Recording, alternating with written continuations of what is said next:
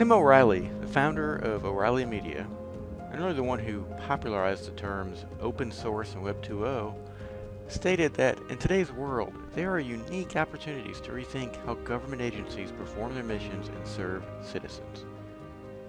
And what better way to serve citizens than to work on a problem that affects us all, every day, from a personal, professional, and environmental level.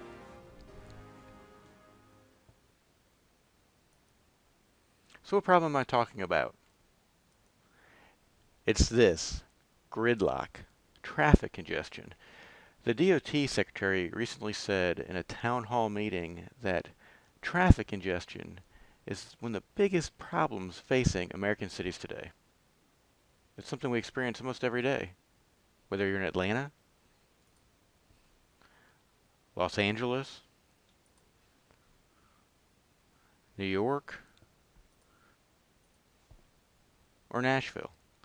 And it's not just happening in large cities, it's happening in cities of all sizes all over the country. So let's look at what it's doing to us from first a personal level. Founder of Basecamp, Jason Fried, wrote a book called Remote, and in that book, he cites research that suggests these type of commutes are associated with increased risk of obesity, insomnia, stress, neck and back pain, uh, high blood pressure, depression. Uh, the list goes on and on. So clearly, it's not good for us at a personal level.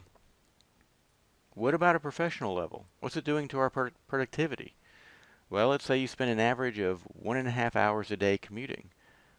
We'll do the math. That comes up to seven and a half hours per week, 300 to 400 hours per year, or the equivalent of 50 days, or five weeks. Just stop and think about what you can do with an extra five weeks. So it's not good for us at a professional level. What about from an environmental level? What's it doing to our planet? Well, it's making our cities look like this. And this. And in worst case scenarios, we see images like this from around the world. So it's not good for our planet either. Now as we know, there's lots of talk at an international level on reducing carbon emissions and so on. But the question is, what can we do closer to home? What can we do as data providers, innovation officers, transportation engineers, planners, and developers? What can we do well, what I'm going to show you is with the right data and tools, we can begin to make change right here in our own backyard. We can look at things like trip reduction strategies, sustainable development, affordable housing, so people can live where they work. And that brings me to two maps.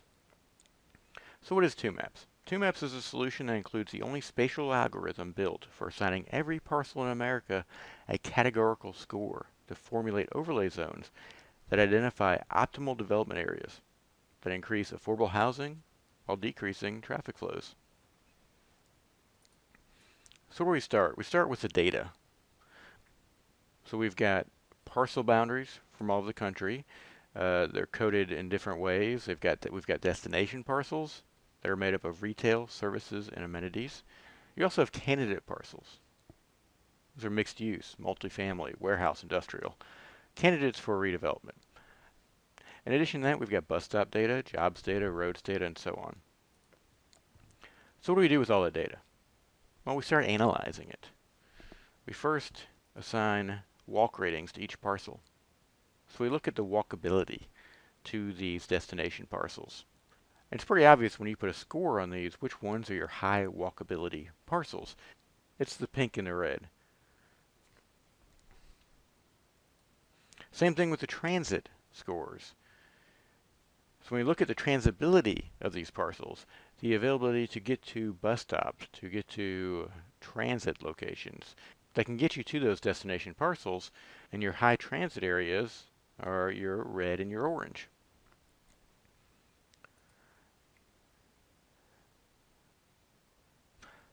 So what happens then is when we take your high walk, your high transit, and overlay that with your candidate parcels, what do you get? You get this. You get what we call the climate change overlay zone, which is a subset of all these parcels that are the perfect candidates based on this algorithm for being redeveloped or repurposed. Once you have this group of parcels now, you can begin to even further look into or research which ones are going to be the first to be redeveloped. You can look at things like the lot size, the building size, the number of units in the building, the age of the building. So which ones are perfect candidates to start repurposing? So what are the benefits of doing something like this? Well, the first one is it decreases traffic congestion. And as we know from earlier, that comes with its own host of benefits.